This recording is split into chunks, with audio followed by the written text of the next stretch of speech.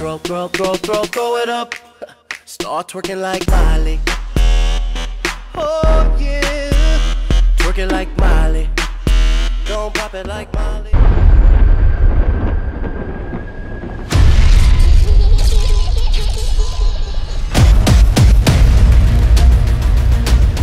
In this chapter of our zombie story, we'll be introducing episode 4, Der Eisendrache. This is the first chapter in an epic time-traversing zombies odyssey that will unfold over the course of Black Ops 3's four DLC packs in 2016.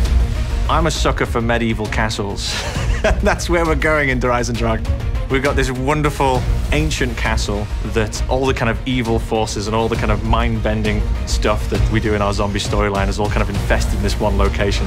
The castle was built upon an ancient site where many dark atrocities have occurred over the centuries. The site contains massive deposits of the recently discovered element 115. This allows us to kind of play with other narrative and thematic elements uh, in a setting which is uh, a personal favorite of mine.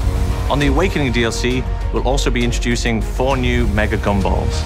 This chapter is very much about introducing new concepts, but then also bringing it to a conclusion. We're incredibly excited to answer a lot of the questions the community has, bring some sort of resolution to a lot of the torment that we put our fans into, and then also maybe introduce some new concepts to have them puzzling out into the future.